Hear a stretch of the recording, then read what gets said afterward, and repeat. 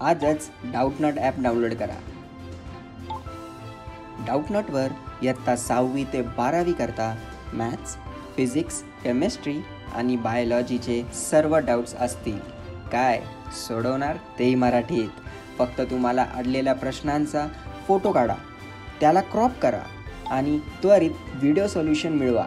आणि असे बरेच व्हिडिओ बघण्यासाठी डाऊटनॉट मराठी यूट्यूब चॅनलला सबस्क्राईब करा.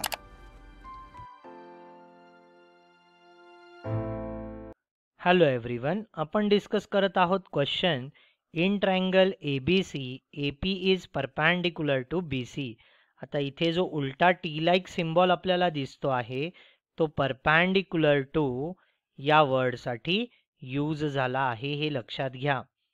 त्यानंतर आपल्याला दिलेलं आहे B Q is perpendicular to A C आणि पॉइंट ऑफ सिक्वेन्स आहे B after P after C आणि दुसरा पॉइंट ऑफ सिक्वेन्स आपल्याला दिलेला आहे A after Q after C then prove that triangle C P A is similar to triangle C Q B if A P equals to seven B Q equals to eight B C equals to twelve then find A C आता सर्वप्रथम आपण prove करून दाखवूयात की दिलेले जे दोन triangle आहेत C P ए आणि सी क्यू बी हे सिमिलर म्हणजेच एकरूप आहेत. तर त्यासाठी आपण सर्वप्रथम ट्रँगल सी पी ए बघूयात दिलेल्या आकृतीमध्ये कुठे आहे. तर ट्रायंगल सी पी एला आपण ब्ल्यू लाईनने इथे शेड आउट केलं आहे. तर तो आहे आपला ट्रँगल सी पी ए आणि त्यानंतर आपल्याला दिलेला आहे ट्रँगल सी क्यू बी आता ट्रँगल सी क्यू बीला आपण लाल लाईनने शेड आउट केलं आहे.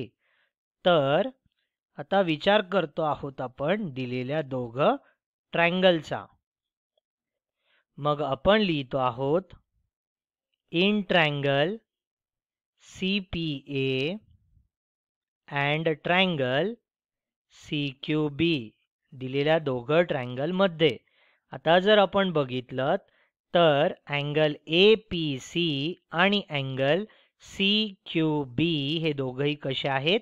नव्वद अंशाचे कोण आहेत. मग आपण लिहू शकतो angle A P C is congruent to angle B Q C. का? तर दोघंही कशी आहेत? नव्वद अंशाची अँगल आहेत. त्याला आपण मानतो आहोत इक्वेशन नंबर वन. आणि जर आपण दोघं ट्रँगलमध्ये बघितलात तर अँगल सी हा जो आहे तो कॉमन आहे. म्हणजेच आपण लिहू शकतो आहोत angle A C P is congruent to angle B C Q का? तर तो काय आहे? कॉमन अँगल आहे.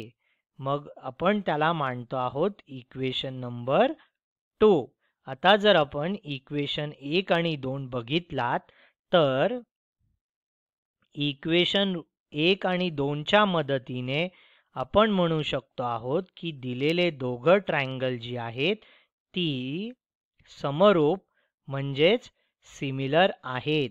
तर त्यासाठी कुठली कसोटी आपण यूज करतो आहोत? तर आपण ट्रायंगलचे अँगल हे जे आहेत ते कॉन्ग्रुअंट दाखवले आहेत म्हणजेच एकरूप दाखवले आहेत. जर ट्रायंगलचे अँगल हे एकरूप असतील म्हणजेच आपण म्हणूयात की करस्पॉन्डिंग अँगल्स हे एकरूप असतील तर दिलेले दोघं ट्रँगल हे समरूप म्हणजे सिमिलर असतात. तर त्यासाठी आपण यूज केली आहे को को कसोटी ज्याला म्हटलं जातं आहे अँगल अँगल टेस्ट आणि तिला शॉर्टमध्ये लिहितात ए ए टेस्ट आता जर दिलेल्या दिलेले दोघं ट्रँगल हे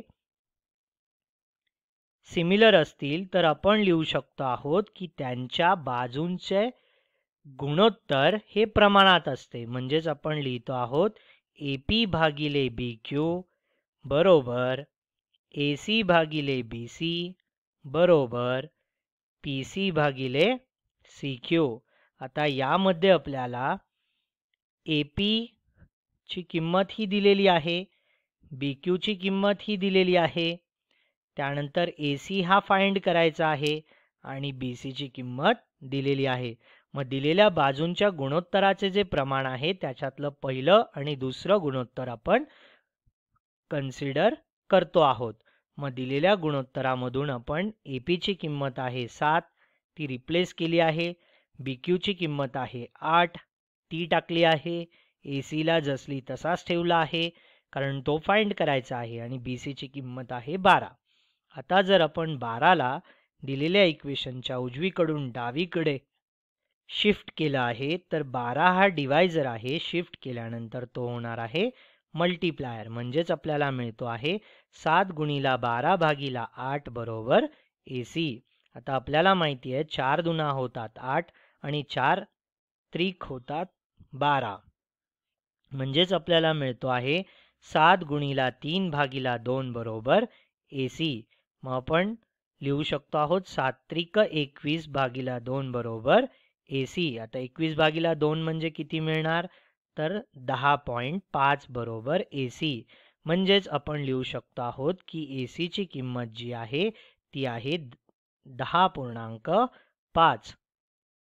तर अशा तऱ्हेने आपण ए सीची किंमत दिलेल्या माहितीवरून फाइंड केली आहे. थँक्यू